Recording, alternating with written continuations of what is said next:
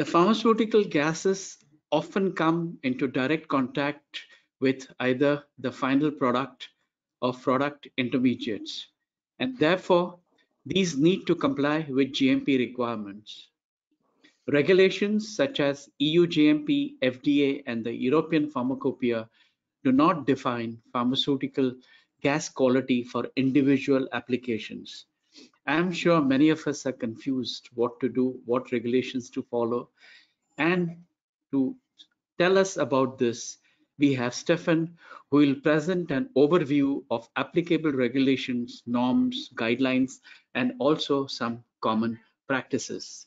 Good afternoon, I am Uday Shetty and you're watching another session of Pharma Best Practices webinar. Really fortunate and happy and glad to have Stephan, who is an expert in this utilities in pharmaceutical gases. Let me say a few words about Stephan. Stephan has MSc in utility engineering and he is pursuing MSc in pharmaceutical microbiology.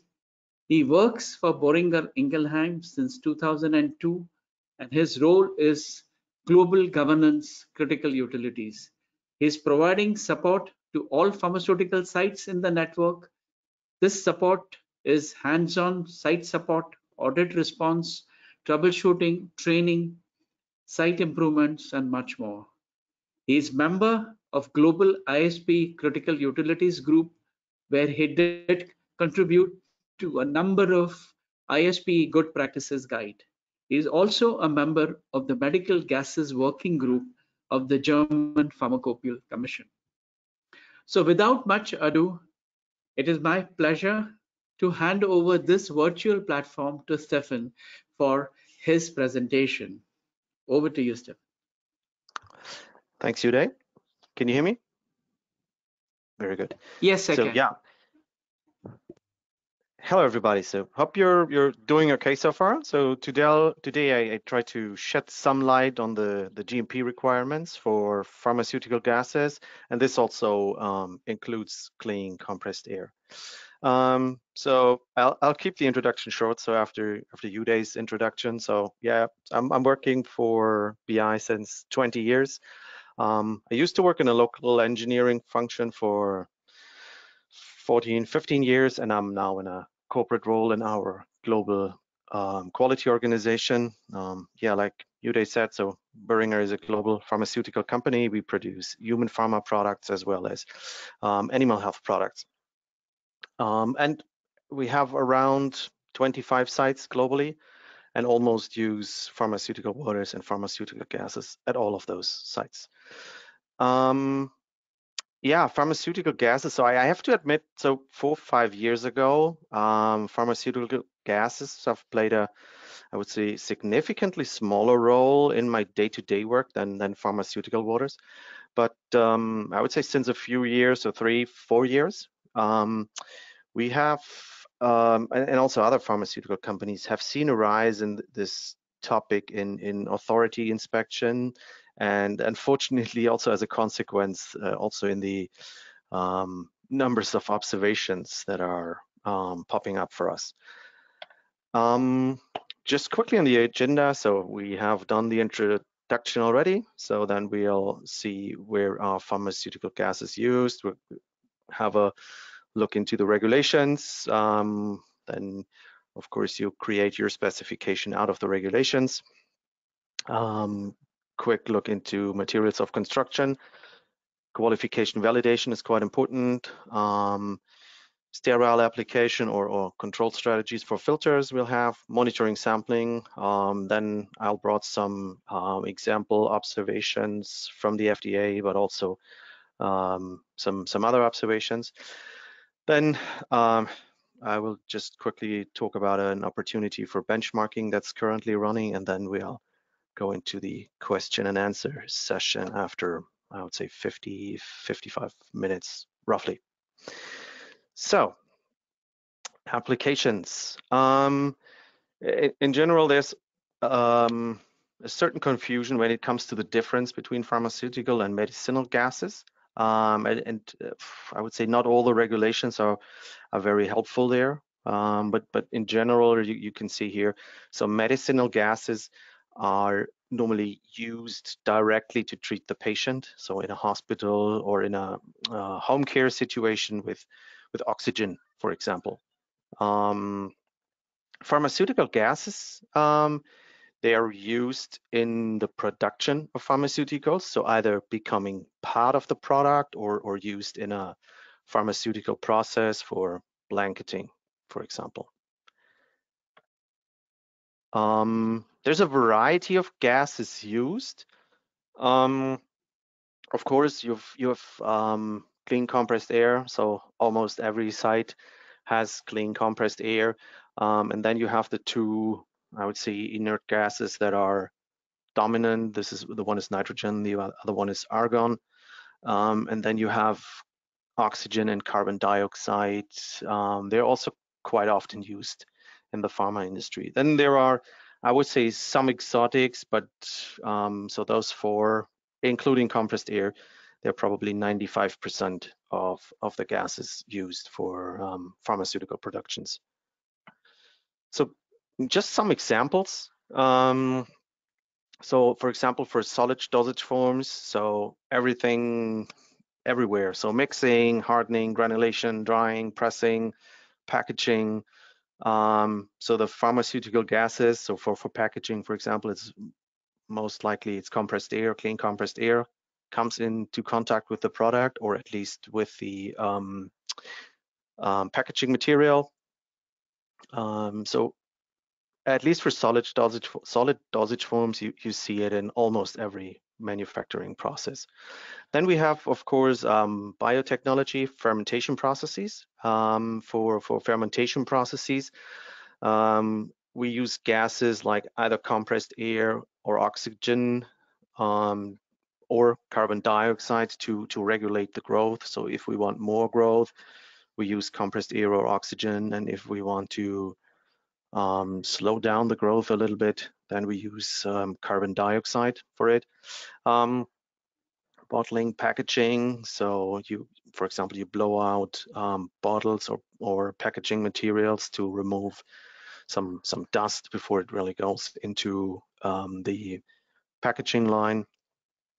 Um, also, for example, for packaging lines, you, you try to uh, have the the moisture or the the um, the water content under control because then um, the gluing is is working better. Then we have, of course, um, instrumentation air. Um, that's generally used to I don't know drive actors or or, or valves in a in a clean room environment. Um, but then this compressed air, of course, um, comes into contact with the clean room, so you also want to have some level of control here.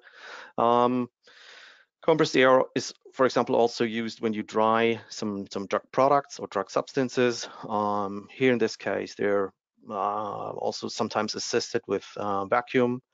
Blanketing is, is a quite often used application. Um, so nitrogen and argon um, are used to um, separate either the, the intermediate or the product or the process from the oxygen um, in the environment. Um, it's also used in sterile fill finish operations. So again, to separate the product um, from the um, microorganisms in the environment. Um, or clean compressed air, for example, is also used to purge products between vessels. So if you don't want to use a pump, you can also um, use clean com or clean compressed air is you also used as a method to transfer the products. So we've seen the applications, now comes the regulations. Um, so from a regulations perspective, I, I, focused on EU and US. So um, in Europe, we have, of course, the, the famous or infamous um, Annex 1 for the manufacture of sterile products. Um, then we have Annex 15 for validation and qualification. Then we have Annex 6, which is not relevant for pharmaceutical uh, end users, um, but it's relevant for the for the companies that are producing the bulk gases like oxygen or, or nitrogen. So they have to follow this. Um, and then we have the respective monographs like um, air medicinal, we have nitrogen and oxygen. There's uh, way more, um, but uh, at least for the applications we're using, we normally only reference to nitrogen and oxygen. Um, the, the setup in the US is um, comparable. So you have the um, famous guideline sterile drug products produced by aseptic processing. And then you have, again, USP um, monographs on um, the respective gases. And then again, so in, in gray, we have some um, monographs or regulations in the USP on, on, on testing of those gases, but uh, they don't necessarily apply to um, the really pharmaceutical use. So um, yeah, I mean it's it's a draft um, from from Annex One. That's why it's uh, written in in, in red. Um, so you see here, it's I, I hope I don't know. I hope it's the last draft and it's also the latest draft. Um, I don't know how many we, we will still see. Um, they were telling me this since two years. Um, but um, the Annex 1 states cl quite clearly that gases that come into direct contact with the product or the primary container surfaces should be of an appropriate chemical, particulate, and microbial quality. And then all relevant parameters, including oil and water content, should be specified. And then, of course, you have to take into account the how the gas is used, um, the type of the gas, what's the generation system. So I'm coming to this later and then where applicable, um, you have to comply with the current monograph. And I, I don't like the where applicable because that's um, not not very helpful. And then there's a chapter on the uh, I would say use of, of filters um, for for gases there. Um, then we have um, Annex 15.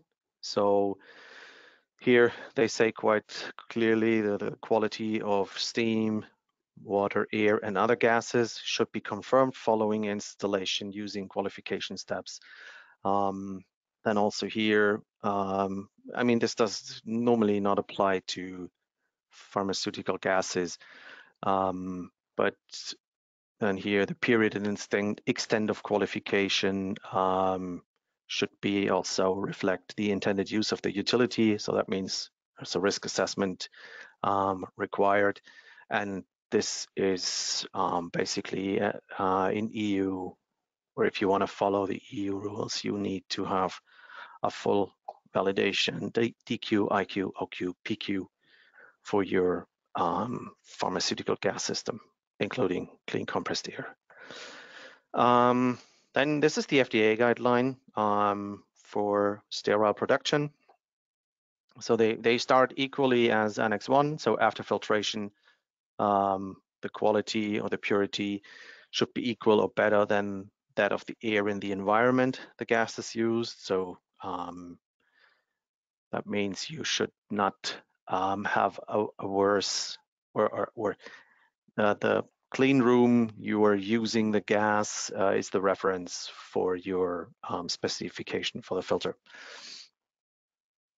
And also here, um, they have um, some words on the use of filters and when to test and uh, what to consider. Then we have, of course, um, a lot of guidelines from um, ISPE. So um, first and foremost, I would say it's the, the, the guide on, on, on process gases. Um, so I'd say the, the only I wouldn't call it a weakness. So the only thing that's that's missing because the, the guide is a, a, bit older is it was before Annex 15. Um, so the, the validation chapter here um, is probably not the best reference. So you you find something um, better here in the. So this is, for example, uh, quite new. I think this came out last year. I think it was last year. Um, there's some good um, guide, guidance also in here. Um, there's also an interesting uh, interesting chapter here on on sampling um, in the sampling guide. And then you have um, for the let's say different um, production processes, you have also um, the one or the other chapter or paragraph in in the baseline guides for sterile um, production or for biopharmaceutical production and also for um, OSD plants. Then um, the famous or infamous um, ISO um, standard. So this is um, quite often used. The and oh, forgive me. So I have so there's a there's a mix up here. So it should be 8573. Um, the the ISO standard is is um, constructed the following. So you have basically um, chapter one talking about how to specify it. Um, and then parts two to nine, um, so this is then here, is how to test for the specified um, contaminants. Um, it's not necessarily a, a, pharma standard, but um, I would see in, in nine out of 10 um, specifications, the, this ISO 8573 from 2010 is is mentioned. So that's it's really um, a global um, applied um, ISO standard. Then um, the last major um, guideline there is there's a, a PICS guide, inspection of utilities, and they have um, also a section on pharmaceutical gases. So what that's more a guideline for the inspectors on, on, on where to look. Um, and we have seen um, some observations in uh, in other companies, especially here on the air inlet source contamination risks. And I, I just have I've brought a picture here. Um, so this is the the air um, that is um, before it's being compressed.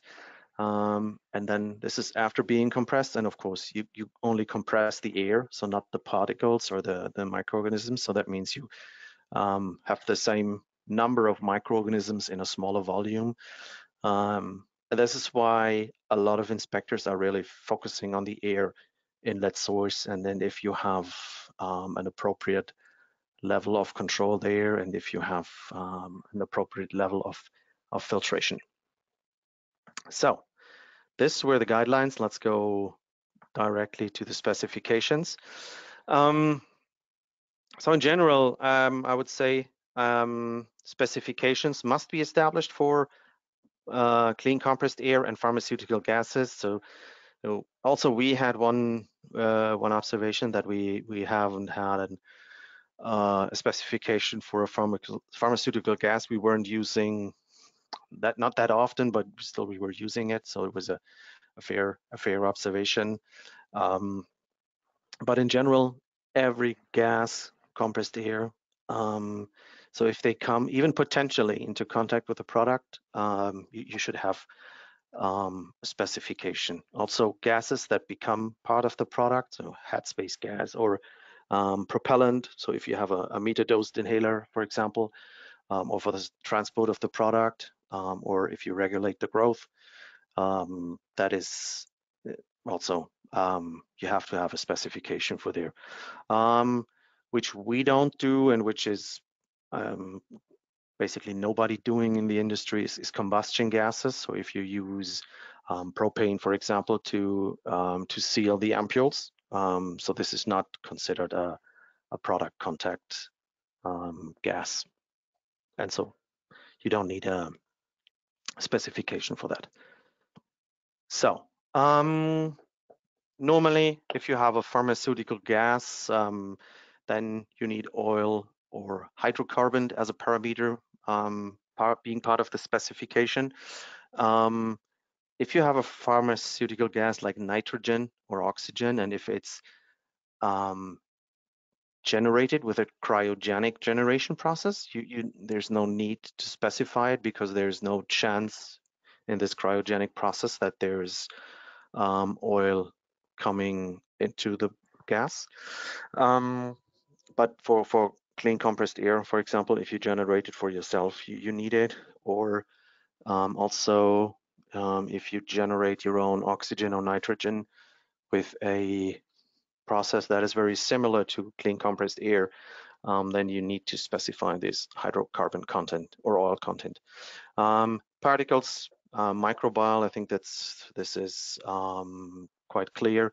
Humidity um, or I would say 90% are expressing it as pressure dew point um, should be part of the specification. And then of course um, purity, but this is only applicable for really for the bulk gases. So if you want to have I don't know, oxygen with 93% uh, or 95%. I think there's something coming up with 98% or um, so that's up to you. What's your, what does your process need? Um, just a, a, few points on the the pressure dew point. Um, it's another it's another word, and, and most of the companies I know uh, they're use sorry they're using pressure dew point as as the um, how they express um, the parameters. Um, the the ISPE guide recommends around minus 40 for sterile and non-sterile applications, and the reason for this is that there's um, two or three um, literatures or two or three studies um, from the food industry um, that, where you can come to the conclusion that at a pressure dew point of, of around minus 26, um, you stop any microbial growth. And so if you transfer this into the ISO 8573 um, language, this means, so ISO class 3 is minus 20, um, and ISO class 2 is minus 40. So um, if you really want to stop the microbial growth, you you most likely go then here, and this is then also the um, ISPE recommendation. And here you see um, uh, pressure dew point sensor. I think that's a Vaisala, probably, yeah. Um, purity, uh, I think like I said, so purity is often um, coming out, out, of the monograph. Um, so if you, you're saying you're using nitrogen or you're using oxygen 95, um, but it's also depending, of course, on the intended use. So, I mean, you still can do blanketing um, of your process or even of your pharmaceutical water system of the of the tank with, I don't know, um, I wouldn't say uh, uh, inferior quality of nitrogen, but I think you don't need the purest of the purest qualities that's that's available. Um, oil content indeed is also um, mandated if you reference to a pharmacopoeial monograph, um, but in, in general, the risk that this oil content um, possesses, and then also for you, the, the necessary level of control really depends massively on the production process of the gas and also in, on the um, intended use of the gas.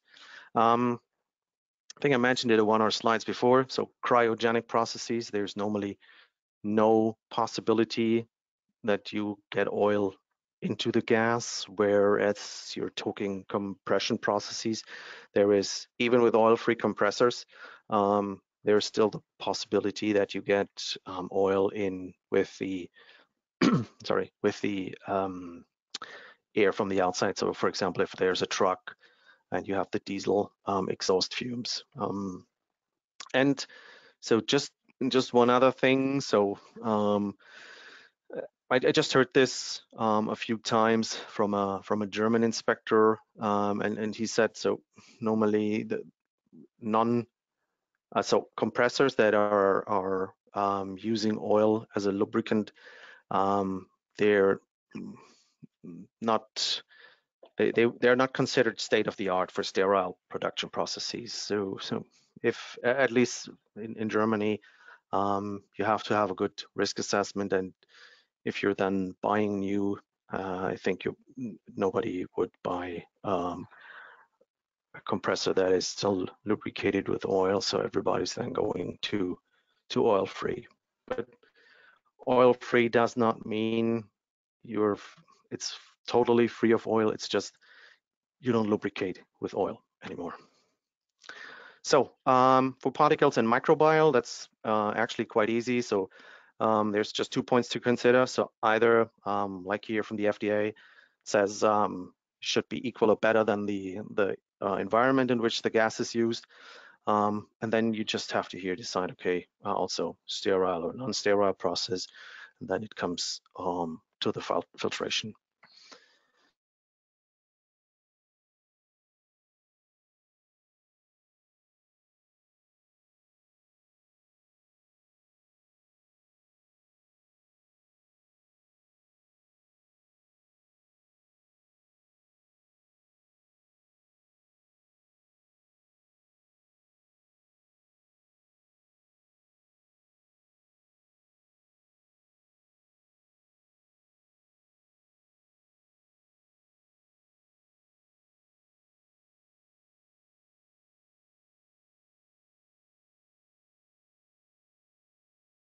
Um, so that's that's how you normally um, specified specify this kind of um, clean compressed air.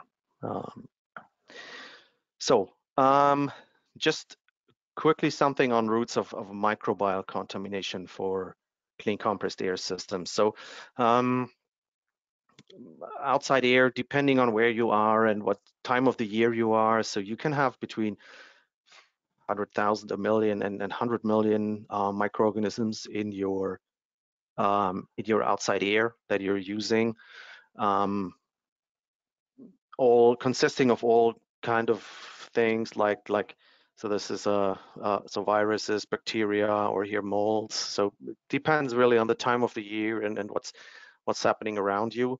Um, and then here, um, the, the, microorganisms are are concentrated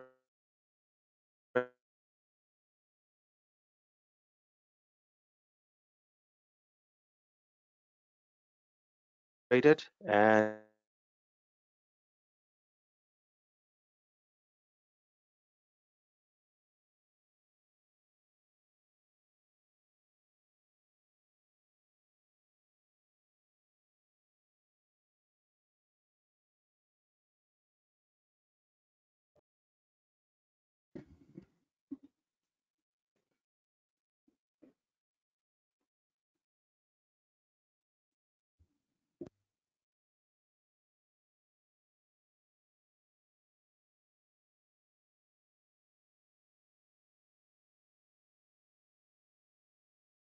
condensate um, development.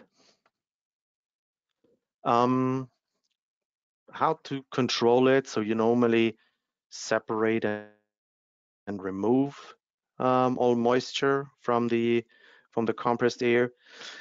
You have uh, filters to reduce the water aerosols. Then, um, like, like mentioned before, you reduce the dew point to a level that will that that will inhibit or or stop, depends on what you want.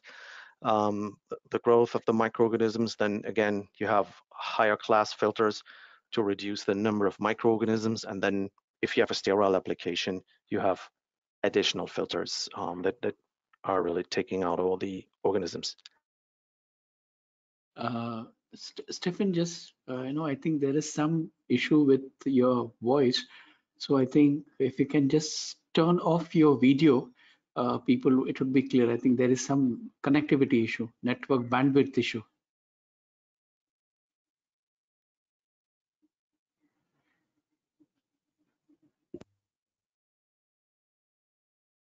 I think I'm, I'm getting some messages that my that I have to turn on my camera. Let me just do this quickly. Um, so, um, uh, I think it's a good idea to validate your pharmaceutical gas system. Um, I would say for also for compressed air, um, I would say two thirds um, the, the, companies I know they have also the generation being part um, of the validation process. Um, for pharmaceutical gases, um, you tend to have a validated supplier. They own the, the storage tank in your facility and um, then you have your validated distribution systems with um, sampling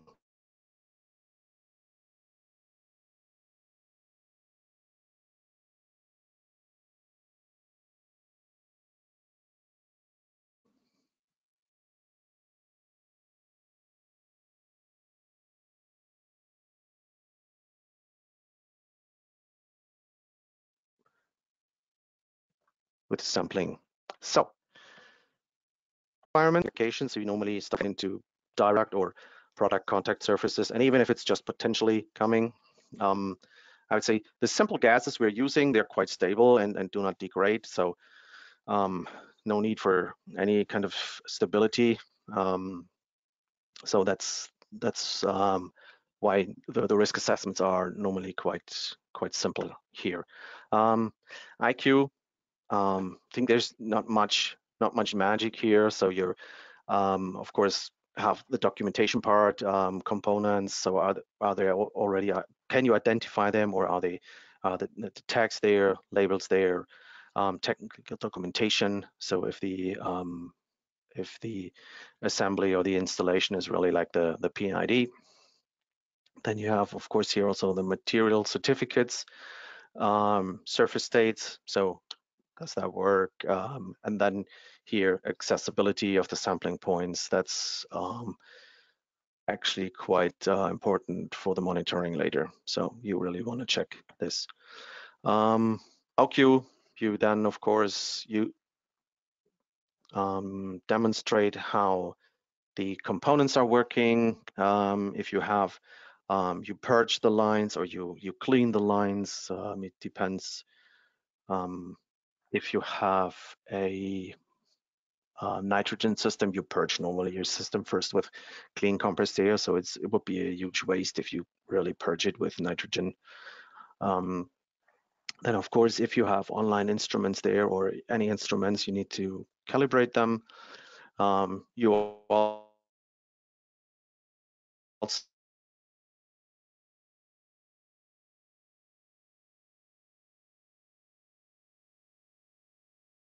so and that's it's more an EH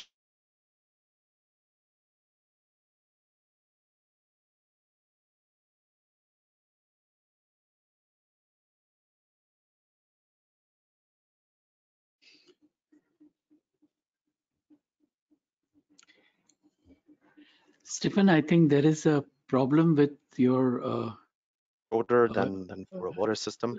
Stephen, Stephen, uh, Stephan, Yeah. just one sec. Uh, I think your slides are frozen; they're not moving. Can you just uh, refresh that? And because people lost connect, there was no sound coming. It was cutting off from your side.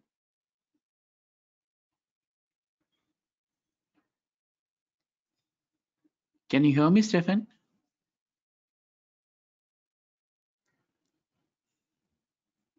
Stephan, can you hear me?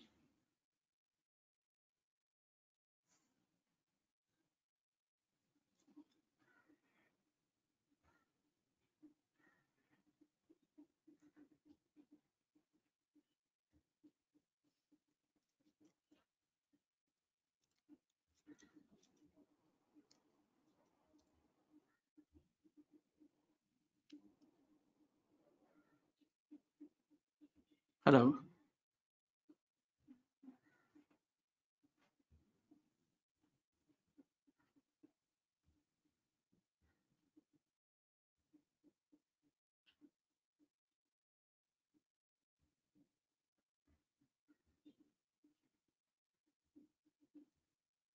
Yeah, uh, delegates, uh, just wait for a minute. We trying to get in touch with Stephan.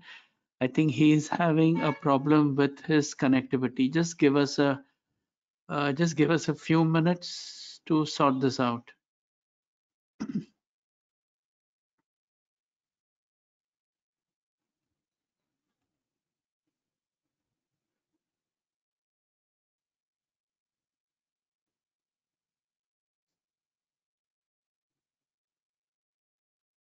Hello, Stephan.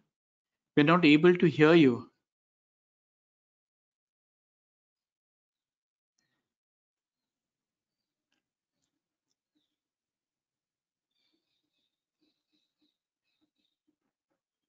Stephan, we are not able to hear you.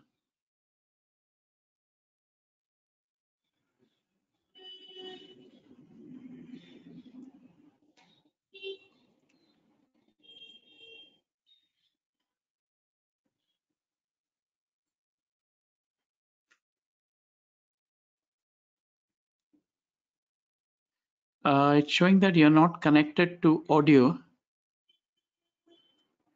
So just just see that you're connected to the audio.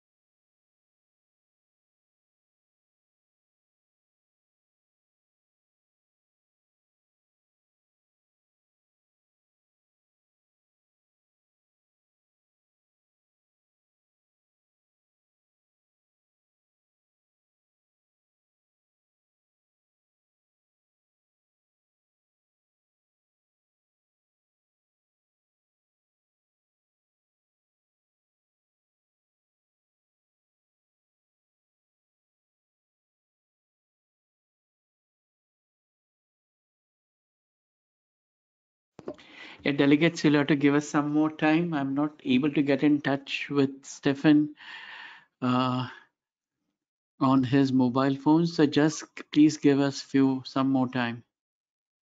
Can you hear me now? Yes, yes. Now we can hear Stephan. Yes. Okay, there was, I don't know, something with the power here. Okay. Um, can, can you make me a presenter again? Yeah, yeah. I'll make it one sec.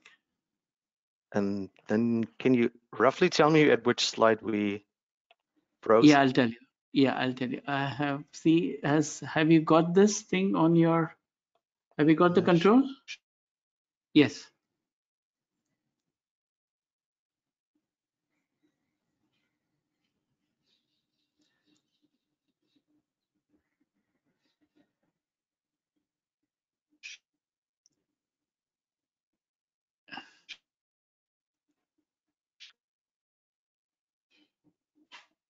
Yeah, you should have got the control now. I can see your screen, I think.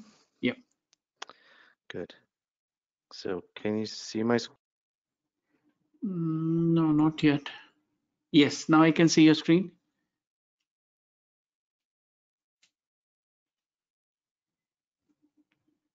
Yeah, now it's full screen.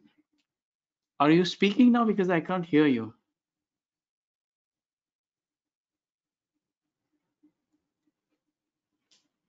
No, Stephan, I can't hear you.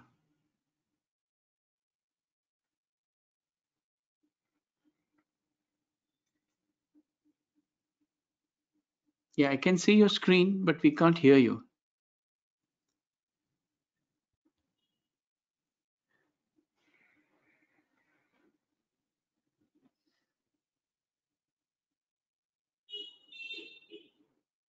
Yes, now I can see you, but I'm not. okay, Uh, yeah, now I can hear you. It's all. It's all. Everything is correct. So which Okay. slide? So let me ask that uh, the people who are attending. Uh, can you just tell us uh, uh, if any any one of you can please just type in the chat that from which slide you lost the connectivity, please? Yeah, I think Stephan, it was from qualification. I think so. ah, okay, good. Yeah. Okay, um, No, I think microbiology slide number 34. I think. Yeah. Yeah. Okay. okay, let's close this. Um, where was microbi microbiology? So, okay, good. Um, so in order to make the time, I'm probably rushing this a bit, but No, no. um, Take it. Take, take your time. No problem. We have sufficient time. okay. Um, so there's some some just some words on the roots of, of microbial contamination. So um, outside air, depending where you are, you have I would say between half a million, a million, or even hundred million of microorganisms um, per cubic meter in your in your outside air that you're then compressing. So you have um, everything. Let me just the pointer. So yeah, there's of viruses, you have bacteria, you have molds. So and when you depending just on the time of the year and, and in the area where you are. Um, and then you're compressing this here um, in, in, in the generation unit. Um, there is some heat development between, I don't know, probably 80 to 100 degrees, um, but that's normally not sufficient because the um, the time that the microorganisms spend at this elevated temperature is not um, not long enough. So, and then you're concentrating, like you saw it in the in the one picture, and then um, if you really don't control the dew point, um, you have wet air um, and you have condensate generation. So this is then normally where you have your um, microbial growth starting. Um, to control it, um, you need to apply several steps. So in the beginning here, you you separate and remove all moisture from the compressed air. Um, with then you have, of course, filters um, to further reduce um, the water aerosols.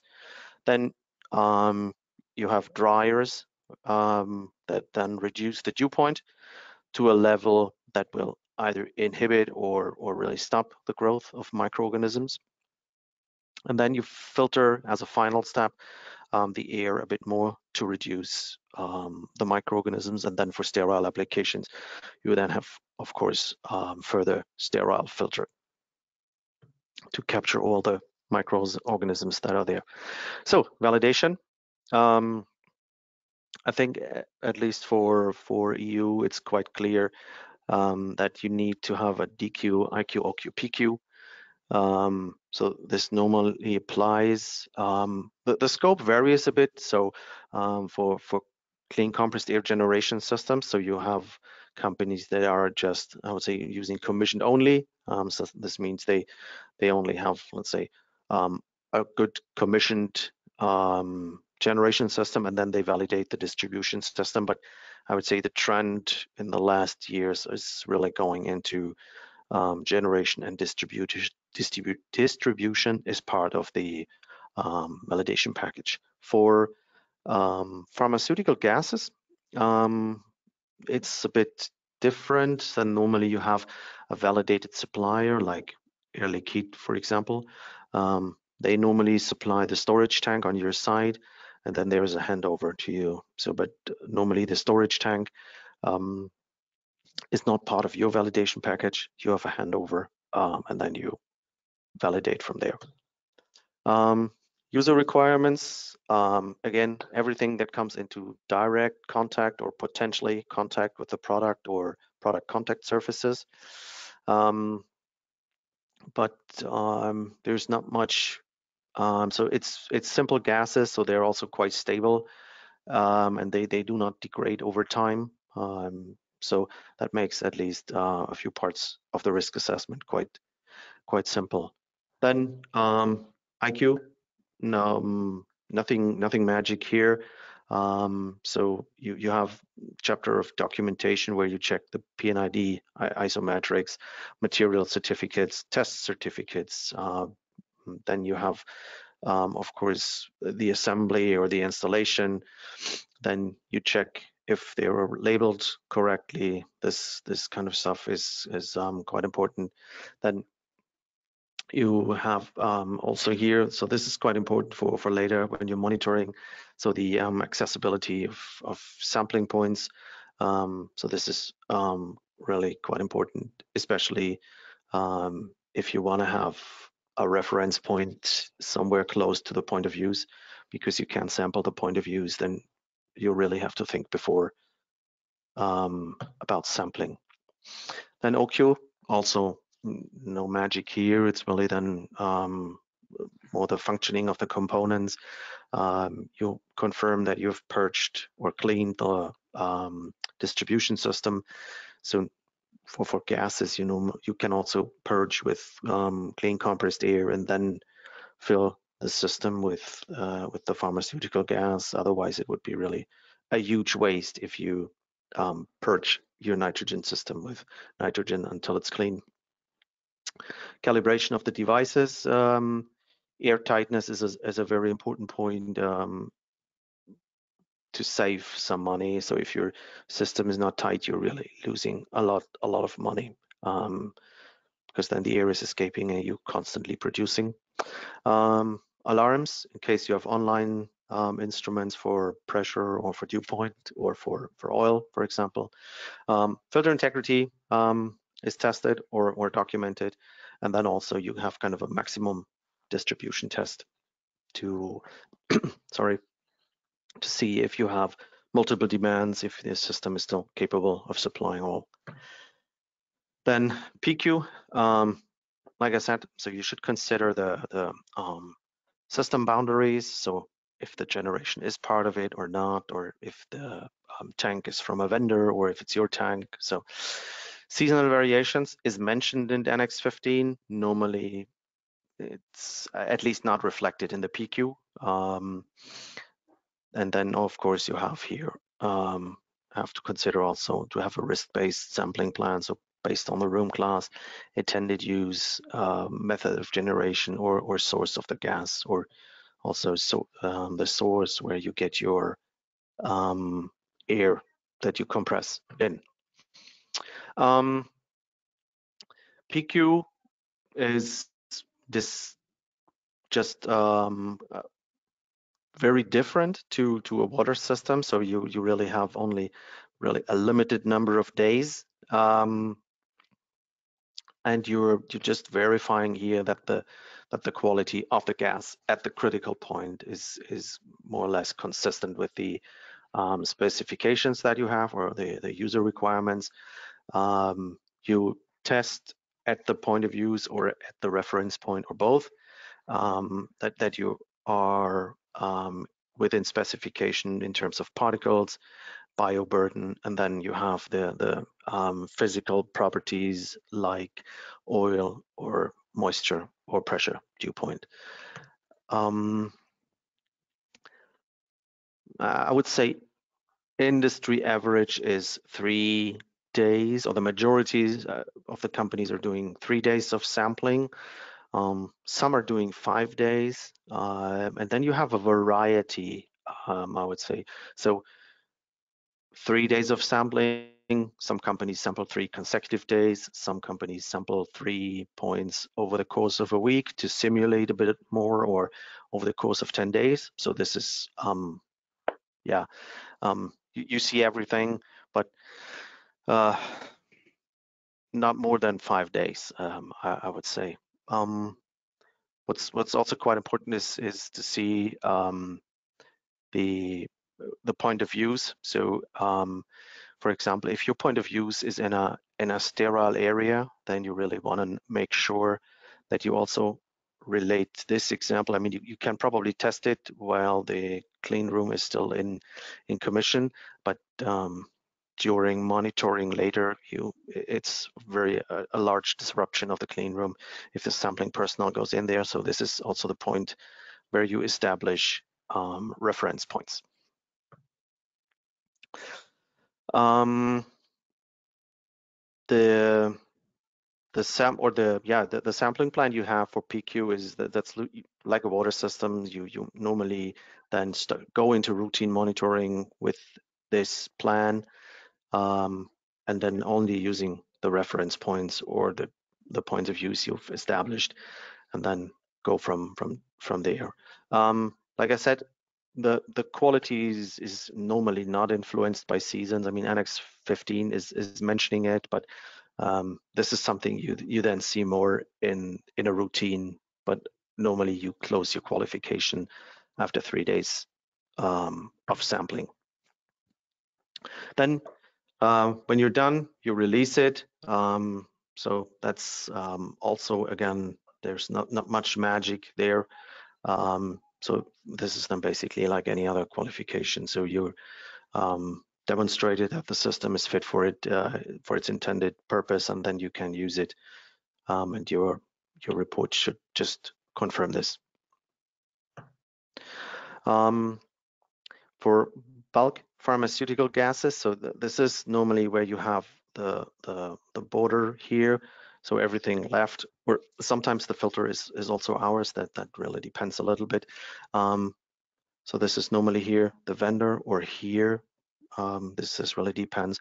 Or you, if you have a, a, bulk storage tank, or if you have like you see here on the this one, um, if it comes more in in um, in batteries of bottles, um, this is um, this is something you really need to consider in your validation. So which is the boundary? So what is us and what is what is the vendor? Um, on-site generation, this is the same. So normally this is this is here included. So you see some pictures here of a, of a cooler dryer, and then you go into a buffer tank. Um, so you have to really um, describe in your validation what is part of it and what is not part of it. So um, I think you'll see this this drawing quite often. So I've taken and adapted it a bit from the from the ISPE guide. So there's um, a, a, lot of ways to set up a um, distribution system and also then then sampling. So here you have your your point of views. That means you, at some point you have an inline filter, but you only have here um, a system reference point. That means during validation, you test both of them and then you establish um, kind of a relation. And then um, if you cannot measure this point, your um, reference point serves then as a um, um, surrogate for for this point. Um, then of course you can also have here again system reference point, but then you have some some reference really directly um, before the filter. And you can can uh, and then again in validation you you demonstrate that this uh, and this result are are the same. And then you also have um, a, a, process for the filter so so that you can really make a good argument saying okay if I have the right quality here and the filter is integer um, I'm 100% sure that I'm also having the right quality um, at the point of use that's a bit of a different setup where you say, okay, for example, everything that enters the aseptic core, um, I'm establishing the same logic here. So you have an array of points of uses and you're just measuring the line that goes into the aseptic core and then you have um, multiple use points. But again, um, you're making this or you're establishing establishing this reference during during validation. Um, also, yeah, not of course not every every system has a final uh, inline filter, so um, this is um, a bit comparable then to uh, to to here. Um, again, it's all depending on what you what you want to demonstrate. So, but you really have to make a distinction between a system sample point and a reference point, a reference um, sample point. Um, same basically here where you say, okay, I have a, a number of, of use points and I, I, can try to group them. And this is where I take my, my reference point here. Um, and then for compressed air, this is um, comparable to the setup to the setup two. Um, always depends on your on your application.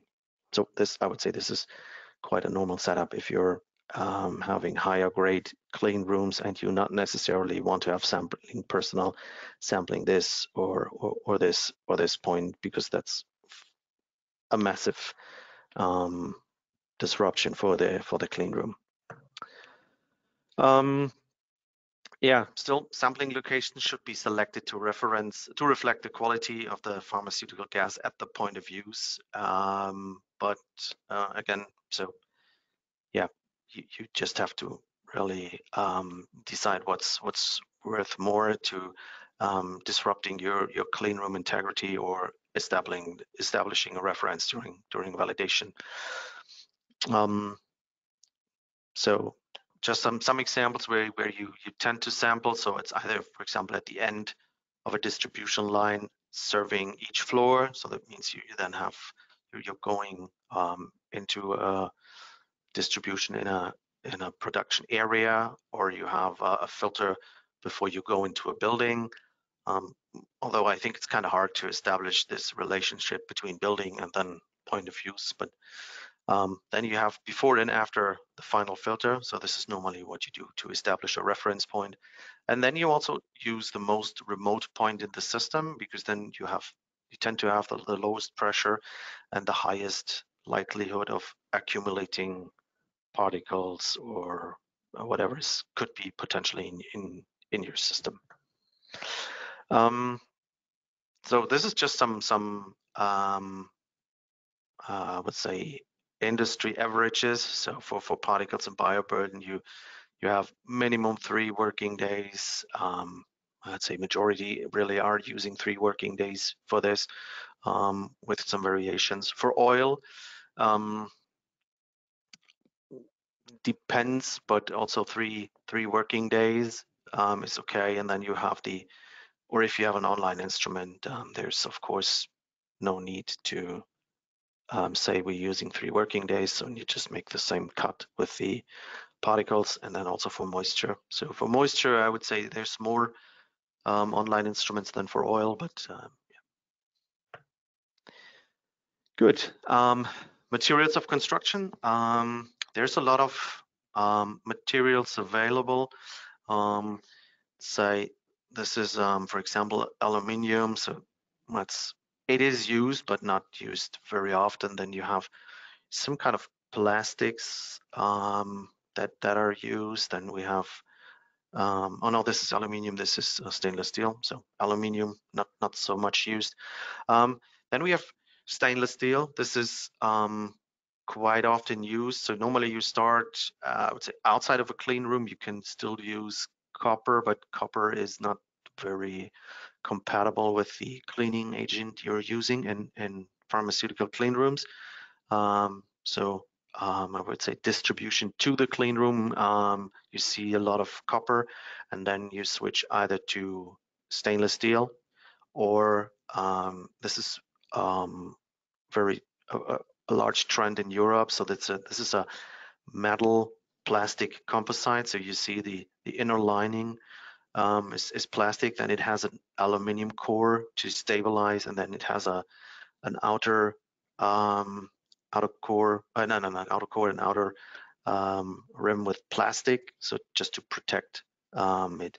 Um, super light, very easy to to install. Um, can hold a lot of pressure, so um, it's this is really um, uh, coming up at the last I don't know five to ten years in in, in Europe um, very massively. And so connections are pressed, so it's it's quite quite easy to install. A lot of fittings available. Um, that's that is really quite good. So I would say these three is what you see um, most often. Then um, just a bit on on filtration. So you've, you've seen this picture, and I, I I'm, I'm using it quite often. So normally you have this system filters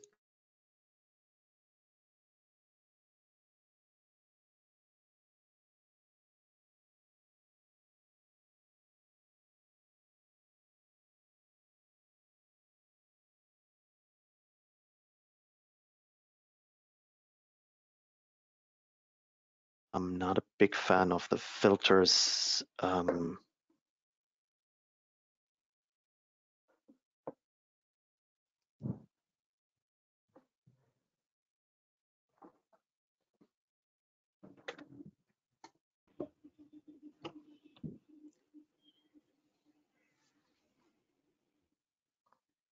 think, Stephan, again, we are not able to hear you.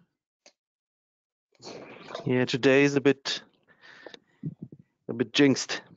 No, no, no. Now it's clear. Please go ahead. I think you can just switch off your video. I think that will be better. Okay. Yeah. Yeah, I will. I will do this. Yeah, but now it's clear. Okay, good. Yeah. Very good. Yeah. Um, and the same is then also for the for the um, compressed gas. So depending on your application, just close the door again. Um, you either have an inline filter or your your um, your product does not require it. So then you um, can can skip it. Um, the the FDA and also the the European authorities they really want to have um, a risk assessment. They want to see an, a risk assessment on when you test the filter um, and and why.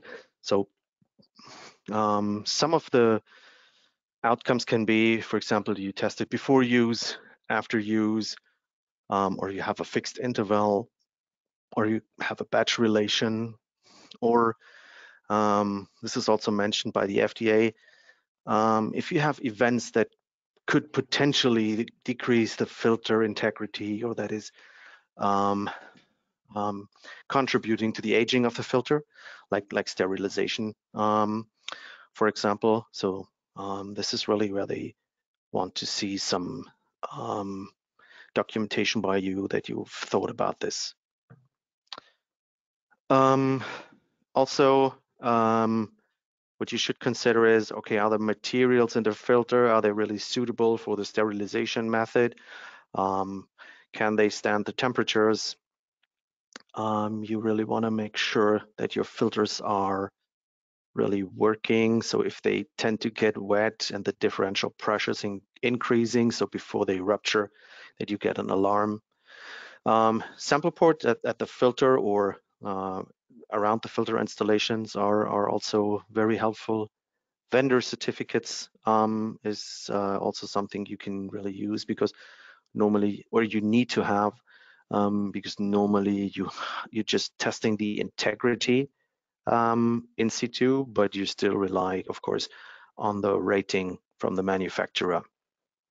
And of course, you, you there is an expectation that you have have a procedure that covers all the event in the life cycle of a filter. So when to test, when to change, what to do with an alarm. So everything around the filter um, should be covered um, in a procedure, especially if it's for a sterile um, application. So monitoring, I think you see the same picture then again.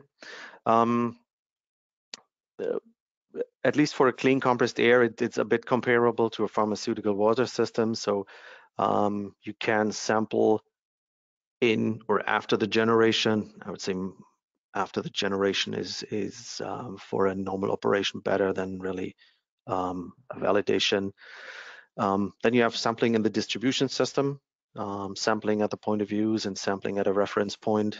Um, so then, at least for for larger operations, they tend to have online instruments for oil and pressure dew point, at least in the generation or immediately after the generation is um, not so unusual um, anymore. And then, of course, you have to assess all sampling points, and then you can make a risk assessment saying, okay, I'm, I'm just sampling here at the reference point because I established during the validation that this sampling point um, reflects the quality at the point of use. Um, then, of course, there's monitors you uh, parameters you really um, continuously monitor and then discontinuously monitoring um, is applied to other parameters. So pressure um, that's more a process control parameter temperature also um, flow. Then you have um, pressure dew point. Like I said so it's normally this is done um, online oil content it's it's a bit expensive but it's more and more coming uh, at least for larger operations. Um, and at least it's it's quality relevant. But of course, you can also still work with these um, Dräger tubes. Mm, they're I would say a bit unreliable, but or um, it's um, you, you, need to be very good trained to to use them. Um, purity. That's normally, uh, for example, for nitrogen or for oxygen, also here you rely i think i have a certificate later so you rely really on the data of the from the vendor. So for example if they say okay there's this amount of co2 um, on this amount of uh, so2 um, in it in your nitrogen and you have a risk assessment that you have no possibilities to reintroduce these contaminants um, you normally don't measure the purity then um, at the point of use even in a discontinuous way. Um, then for for higher risk application, I think I mentioned it in the beginning. So for for um, non-oil free generators, there are some some risk that that holes or ruptures of filters cannot be detected fast enough, and then you contaminate the system and, and also downstream processes. So um, for non-oil-free generators, um, you really need to think about the, the right level of control to make sure your system's not contaminated. Um, also for some older dryers or, or very moisture sensitive products, um, undetected malfunctions of the of the dryers um, can really cause uh, condensation or at least a, a steep increase of um, of moisture in in the compressed air um, and this can lead to to um, microbial issues, but also um, stability issues in the in the product. So really, if if you have a higher risk um, from for the product or by your generation process, um, the level of control um, should be really appropriate to this to this risk. yeah, you you're seeing the picture again, so I I, I just uh, have it here back um, just for your um, understanding or that it's um, that it's really important to to understand where you're sampling and why you're why you're sampling. Um, so this is a, an, a, a receipt. So uh, it's in German, but um, uh, this is a receipt we, we get from our vendor, for example, here Air Liquide, and I think I have it in a larger. So this is the certificate of analysis that that we get with with a shipment, for example. Um, and then they say here, okay, so this is in this case it's nitrogen.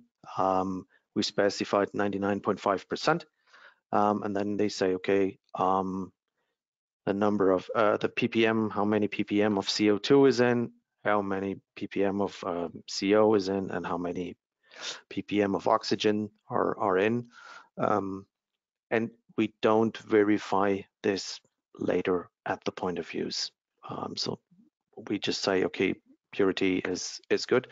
Um, another important thing that's mentioned on the certificate is how this um, nitrogen was was generated, and here you see it in in in German, but I sounds similar in English. So it's a it's a cryogenic process. Um, and this is also then for us an, an indication that we and it's exclusively so it says exclusively by a, a cryogenic process um, so that's also a reason for us not to um, test for oil there. Um, there's other possibilities to generate nitrogen that works like a compressed air system, and then you have a you have this uh, compressed air running through a zeolite. Um, um, it's kind of a mineral, um, and this um, separates the oxygen from the nitrogen. Um, and in this case, you would test for oil because it's it's a compression um, method. Here, the this is also so the dew point here of, of 80 to, to 95 Kelvin. So that's between 170 and two, uh, so minus 170 minus 200. Um, so the dew point is also um, super low. And this is normally what you get with with every every shipment of, of nitrogen.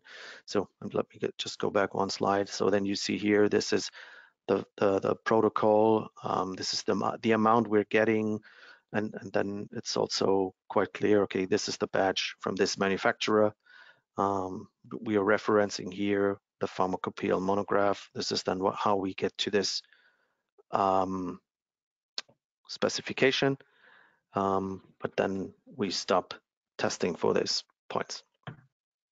So um, then we're coming to inspection observations. Um, so this is, um, as you can see, an FDA observation. So um, here they just have that the compressed air is in contact with the primary packaging um, material, uh, and they did not not validate the system. So even if it's just the primary packaging material, um, the FDA expects here a, a, full validation of the compressed air system. Um, then here, validation was not sufficient, so nitrogen used in the uh, lyophilizer was qualified um, on a specification only meeting cleanroom class C, but it was used in a cleanroom class A. Um, that's obviously um, a wrong specification. Um, you, you, could be lucky if you have um, environmental environmental monitoring data showing that you're meeting clean room class A, then it's probably only a minor observation, um, but uh, still, so your your specification should really be reflecting um, the intended use.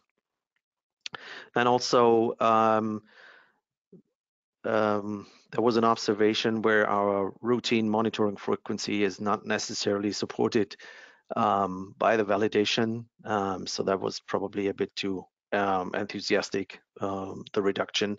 So also again here, so you have to check your data and then you can um, start reducing the sampling points or the, the frequency or both. So um, also here, so you see it's a similar theme. So the action level for compressed air for viable and non-viable particles is not aligned with the intended application. So that's um, a bit um, like like this one here. So um, yeah. And then here also they they don't have uh, obviously they they don't had any alert levels also for for this. So um, and it was a product contact operation. So this was, um, yeah, probably a more severe stuff.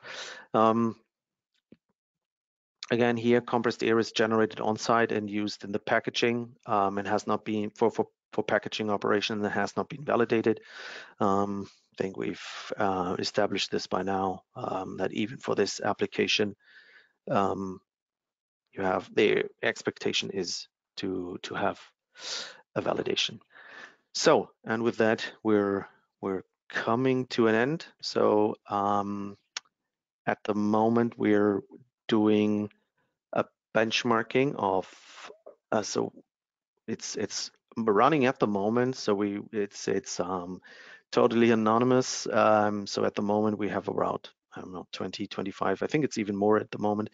Um, or now pharmaceutical companies, global operating companies, and there's questions on on um, specification, on sampling, on validation boundaries, and how long do you sample? So so this kind of stuff. So if anybody's interested, so I've pasted in the the QR code on the top right um, bottom, or if you're um, if you need to have a link, um, so just drop me a line in the comments and I'll I'll send you the link. So you will get all the results. So, so you will get yours and also the, the, results of the other companies, but it's of course anonymous. So, so you would just see um, pharmaceutical manufacturer or any animal health manufacturer, Germany or India or Denmark. Um, so there's yeah so i think it's a it's an interesting uh, interesting opportunity so um, for us it's so what we're seeing at the moment for us it's very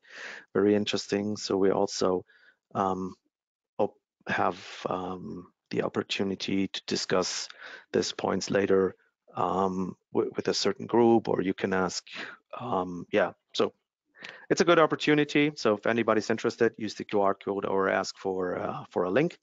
And I think with that um, um, done, and I really apologize for my um, technical no problems. Thanks, thanks, Stephan, for an excellent, detailed, exhaustive presentation covering so many aspects. If you want to send that link, you can just put it in the chat. I can put it to all, or even you can put in the chat and it can go to all participants if you wish to do that. And we yes. will take questions. We'll we'll take questions now. Okay, let me just uh, um, I'm gonna stop stop sharing now, and then I'm just looking quickly for the link. But I, I have to admit, I'm I'm not overly multitasking. Uh, no, it's okay. the biggest multitasker. Um, so let me just get the link. Here's copy URL, um, and then I'll open it in the chat. And you can send it to all. To organizers, okay. Yeah, so um, like I said, um, it's it's totally anonymous. So I'm I'm the only person that that really um, administers it, and um, um, I, I, mean, you, you, should know me by now. So I'm I'm I'm happy to answer any question um, if you. Yeah. If you okay. So just I think you send the link to me. I'll just send it to all. Ah, okay. So, oh, sorry. Uh, oh, yeah, I, I, think. You're right. You're right. I just. Yeah, no, I've, I, yeah, I've sent it to all. Organizer. Thanks for covering me here, Uday. no, it's done. Okay, uh, because there are many requests coming here for sharing the link, so I think everyone will get it. So here's the first question. Okay, thank you. Yeah, we'll take a few questions. Yeah, uh, sure, sure. Sure. So where is it? Uh, must you have POU filters and filters at generations? Um, so a filter after the generation, I would say, is is quite important, um, just to control um, the particles and also the the microorganisms. Point of use filters, um, I would say, is depending on the application. Um, so if it's a sterile application, I would say I would really say yes. Um, if you have a very good system, a very clean distribution system, um, if your dew point is low enough so you don't have a chance that you have any form of corrosion in there, um, and you're just running a um, for a packaging operation, um, I would say it's not not necessary that you have a, a point of use filter. Right. Thank you. Let's move on. Uh, this is about testing and specifications. You did mention uh, the specifications of ISO 8573. So is it, uh, you know, how, what is the people, what do they follow? Do they do all the testing as per this or some of the test results are taken from the vendor? I think you did mention that, but there's a question on that. Okay, so um, so for for 8573, um, I, I think this is the, the the parameters you really test at your point of use or, or at your reference point.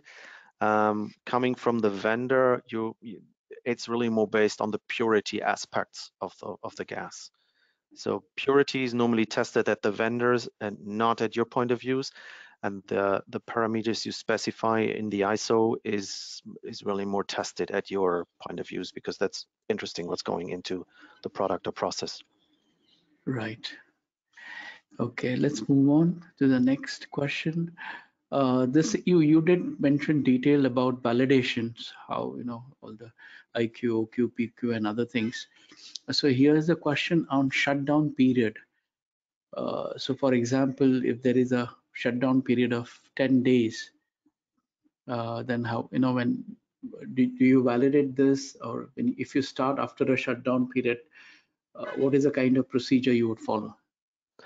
Um, okay, so depending, of course, uh, what what type it is, but let's let's for make it easy uh, for a compressed air system. So you you of course then start up um, and then you you you vent um, the line. So that means you you really should have a point where either you take a point of use or you have a special point for this, where you really make sure that you get um, the air that is was inside the system during the maintenance is blown out um, either into um, into a technical area or or over the roof um, and then you sample it depends of course how how good your your validation is but normally um, you, you, sample then at a reference point or at, at some selected reference points um, and then you can restart the okay. system if you're talking about a gas system you normally um, purge it first or, or um, blow it through um, with clean compressed air and then you bring in um, your pharmaceutical gas and then you need to vent of course that you have um, or you need to have a procedure on how to how to open the system and vent it so that you really have the pharmaceutical gas um, everywhere and then yeah of course again some sampling especially um, for for particles. So that's if you have a maintenance, that's that's quite um, quite important. But um, yeah, maintenance is really so. I mean, just my personal opinion, but for for clean compressed air, the the, the single most um, important point is is the filters in the in the system and in the generation. So you really have to make sure that you replace the filters with the right classification and um, that they're integral, and then you're probably already quite safe. Right. Thanks. Uh, there's a question on dew point. We had yep. you presented quite a lot on that. Uh, since dew point tends to change during distribution, how should limit for dew point be fixed at user point in comparison to generation point?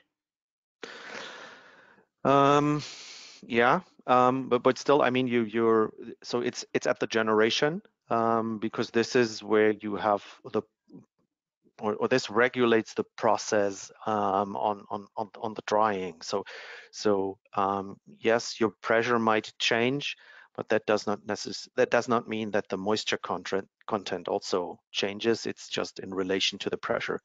Um, so the the overall absolute content does not change, and and it's you're normally taking this um, immediately after the generation because this is how you have your process under control. That's Right, thank you. Uh, let's move on. Is there, uh, next question is about contamination with Clostridium spores. Is there a risk of contamination of the compressed air line by Clostridium spores? Have you seen this kind of this kind of contamination? And if um, yes, what are the specific controls? Yeah, please go. So actually, actually, I have um, I have never seen uh, so I now have to be careful. So I'm, um, but I've I've really rarely seen a contamination in the system, so it was more or less always either the sampling or the, the handling of the samples. So normally this these systems they, they really come in come in quite clean. So you see excursions on on oil or water, but normally not from micro. Um, so I, I haven't seen it and and Nice. um, but but I mean I can I can look. So I don't know. There's probably um, a reason behind the question. So either it's very small or they can can survive very um, so they're really mean. I don't know. But if the question is in the in the chat, so I'll and you I, th I think you sent me the chat later, so I'll, Yes. I'll try to I try to look for it. But normally, so I've I've never seen a system. I think Thank, that was really contaminated. thank you. Uh, now this is about, uh, next question is about frequency of change of the filters for sterile and non-sterile applications. Any suggestions? What is your, uh, what is your experience? Of course, it would be different for different companies, different users based on the risk assessment and so on. But overall, your view and your uh, Um, yeah, again, it's it's it's it's a bit um, it's a bit hard. Um, so coming from the generation, it depends on how how good is your um, quality of air going into the process, um, and then um, yeah, you you really can't say. I mean, you you have you have um, pressure differentials for a for a reason, um, and then at least if you're talking for sterile applications, for the sterile filters, um, uh, yeah, I mean, there's a number of sterilization cycles such filters can um, can tolerate without uh, any decrease in, in, in quality. Um, but yeah, it's it, it's hard um, because normally it's it's not so time dependent. It's more dependent on how many sterilization cycles over over the filter, and then then again it depends on how how often do you use it. So um, it, it's it's hard to hard to say from here. Um, Yeah, absolutely. more uh, really an operational uh, experience thing. Yes. Uh, now this is about uh, reference point. Uh, if the reference point is in grade B area and point of view is in grade A, uh, I think you have answered this. Then which is the appropriate to point to sample? Yeah, I mean, I wouldn't even do I wouldn't even do the, the reference point in a grade B. So I would really try to get um, uh, to get out and, and establish the relationship because even in a grade B, um, you need to get somebody in from from from the monitoring team. Um, you you need to blow um, to flush um, the, the sample point. So it's it's really a massive disruption of the of the clean room. Um, so I really try would try to do the reference point even even in a grade C or D. Um, and and you need to establish this relationship during during validation, saying okay, so if I'm having that quality at my reference point and I have a process uh, taking care on the integrity of my filter, then I am I'm very, very sure, and I'm established this during the validation, that the quality at my point of views, at my real point of views is um, without a doubt. Yes. So I think there are several questions. So we'll just take one last one and then I'll send you all the chat and maybe then we can try to publish it as a blog or we'll see how to go about that. So let me think. Uh, which one should I take? Okay, I'll- let's take this one. This is a tricky one. Uh, do you do you test nitrogen for microbiological quality? Um, yes, we do. Um, so there's still the possibility that that um, anaerobic um, bac- bacterias are Yes, are in in there, um, especially after uh, commissioning of the system. Um, so you, there, I- I would see there there is some logic in saying, okay, so once you have the system running and and you you have a clean running system, that you reduce the frequency, but especially after maintenance or after uh, um, major interventions or or after a new system, it really makes sense to to monitor there because there's there's also bacteria that not necessarily need um, oxygen to Absolutely. or not. Yeah, I mean, there's they all need something, but there's, um, yeah, and they might they might be there. Just I mean, this is also a method to say, okay, how good is my purging process or how good is my cleaning process? So um, if you find some some spores in there um, after, or, or, even some bacteria after um, after maintenance or after um, um, after major interventions, then then you really know that your your purging process is probably not the best and needs some improvement. So um, to answer the question, yes, it makes sense, um, but uh, in, a, in, a, routine operation, you can probably um, scale it back. Absolutely. So thank you, thank you, Stephan, for the presentation. Yeah. Uh, Anytime. Well Again, apologies for the technical difficulties. No, it's okay. It's final. That's that's that's no. So before we conclude, any final comments, final concluding remarks, and then we will uh, close this uh, webinar. No, um, like I said, so it was it was fun, uh, except for the disconnections. Um, and uh, yeah, I'll try to answer the um, um, all the questions. I'm, I'm probably I'm hoping I get it done until middle of next week. Um, and whoever wants to be part of the benchmarking. So I'll, I'll looking looking forward to it, and um, I think we will share this then once we see the number of participants are plateauing. So if we don't get any new, we will share this probably I don't know uh, in a week or ten days, and then um, uh, how do you Great. say it? So um, we, we won't share your details, so I'm the only person seeing your details and you will get the results from me. And if you have questions, I mean, you, yeah, just, you can then just ask me. Okay. Thank you. Thank you, Stephan. For the, yes, my pleasure. It's our honor. So thank you, delegates, for joining here today in such large numbers. Uh, we appreciate uh, your support for this platform and this channel.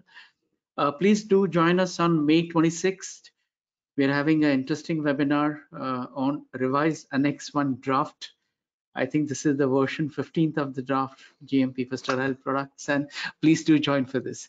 Thank you so much. With this, we are closing. Have a have a good evening. Have a good weekend, and stay, uh, stay safe. Bye-bye. Bye.